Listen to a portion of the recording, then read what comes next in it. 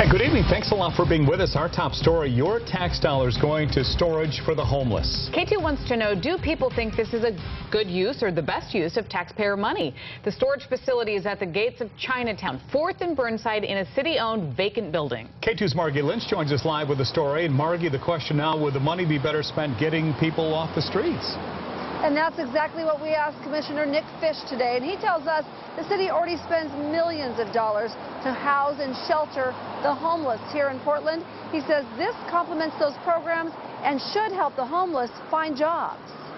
Got, got a bag here, a bag there, and a big one down here. Fred is loaded down. Right at 100 pounds, I bet. On his back, he carries his life's possessions. It's physically very exhausting. It's long been a problem in the city of Portland. The homeless's bags and shopping carts blocking the sidewalk. People got to push it around, like for instance that cart on the corner right there. It's going to be stolen at any time. But that's somebody's livelihood. It's gone. So Commissioner Nick Fish decided to grant the wish of advocates and downtown businesses, opening a storage facility at the gates of Chinatown where homeless people can keep their stuff for the day. This has been on their wish list for a long time. I guess I'm Santa Claus. But in this case, Santa Claus is using your money to deliver. Nick Fish calls the $30,000 for the program a drop in the bucket and money that will change Portland's image. Criticisms we often get are people who are walking down the street and see someone who's homeless with all their belongings. Think of that. Um, they wonder what kind of city would allow someone to sleep on the streets with all their belongings. And by the way, those belongings are often blocking the sidewalk. Portland Business Alliance backs the plan, but other businesses close to the facility don't like it. I told him I thought it was a bad idea too.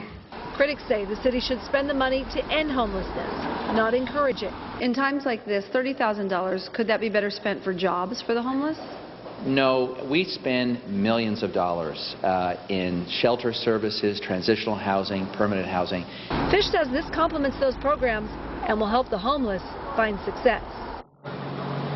And that program that'll be run out of this vacant building here will only be by day. The homeless will have to pick up their belongings for nighttime. And we asked also about what about illegal property? Some people say, you know, a lot of times homeless people and others will carry things in their bags and among them that it's not legal. What will the city do with all of that? And what will the city do if they forget to come and bring their stuff? Right now, the city is uh, working through all that. Back to you. Well, so Margie, what about the shopping carts we see a lot of the homeless people use to carry their stuff? Ultimately, that's stolen property. So what will the city do about that?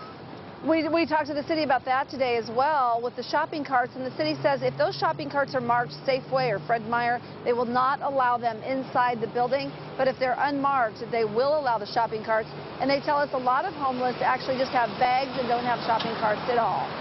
All right, Margie Lynch, thank you.